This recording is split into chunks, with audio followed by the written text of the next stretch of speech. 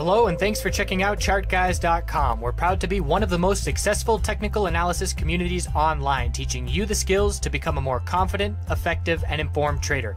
Join our community of hundreds of analysts worldwide working together to learn the charts, generate profit, and achieve financial independence. Sign up for a one week free trial, no credit card required, for access to daily live chart analysis and market coverage, a thriving chat community, along with dozens of hours of exclusive educational materials. We look forward to seeing you. Let's check out some charts.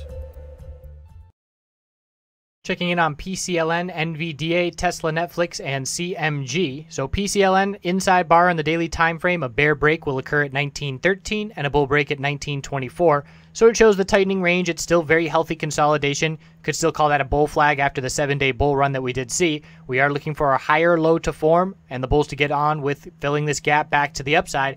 But the correlation with the S&P 500 and the weakness that we saw in the S&P 500 today, we do need to be cautious of a bit more further consolidation. So we'll see how this inside bar breaks tomorrow for an indication of momentum heading into next week. The weekly time frame is showing a weak candlestick as well with some profit taking. We'll look at the potential of a back test of the middle Bollinger Band as support. 1886 is that level, and that would still be very healthy consolidation if we bounced off that level and held that back test. That would give the bulls some confidence for continuation as well. NVDA new all-time high today, but rejecting from the upper Bollinger Band for the second time in three days. And the new all-time high was only by about 14 cents, so not significantly higher. And it is a bearish reversal doji. So if we do break the low of today tomorrow, 189.93, we will be looking to confirm this candlestick and potentially see some further pullback. There's a little gap right here that would be our initial target. That's at 186.73. So obviously the bulls are in full control if we're hitting new all-time highs. It's just keeping an eye out for signs of consolidation as the market is showing some signs of consolidation and watching to see if that's going to end up playing out. The weekly time frame is still very strong. Upper Bollinger Band 190.21. Bulls are going to try and close above that level tomorrow to be in breakout mode on this weekly time frame, and we have not been in breakout mode since back in June. So that would certainly be welcomed by the bulls, but it all depends on whether we confirm this bearish doji or not on the daily.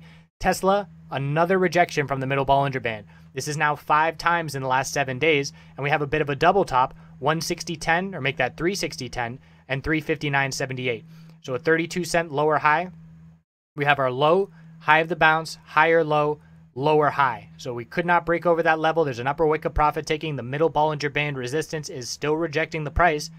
And we are watching to see if we can break this double top. If not, Bulls have to hold 342.67, or we could see the potential of a double top and then a lower low by losing that level. The weekly time frame on Tesla is an inside bar trying to hold the middle Bollinger Band on the weekly. So far, they're doing a good job of that, and we'll see if they're able to keep that up from here as we are looking at that double top. It's pretty much all about the middle Bollinger Band and that double top of resistance.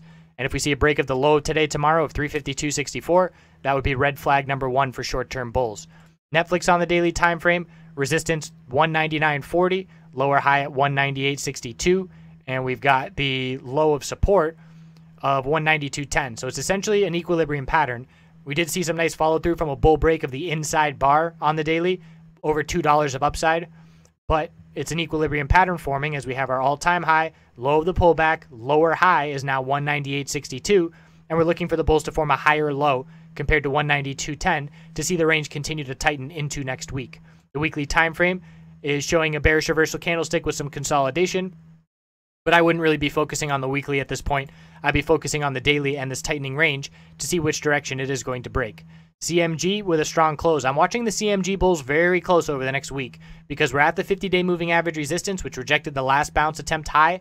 And if we can close over that to end the week tomorrow, if we can break 314.50, which was a double top on Tuesday, and close over this 50 day moving average, the Bulls will have some good momentum heading into next week. And we're looking at this weekly chart, which has been rejecting from exponential resistance, but we're on the verge of a bull MACD. The RSI is coming off of oversold, and we're looking for this higher low and higher high by breaking 326.45.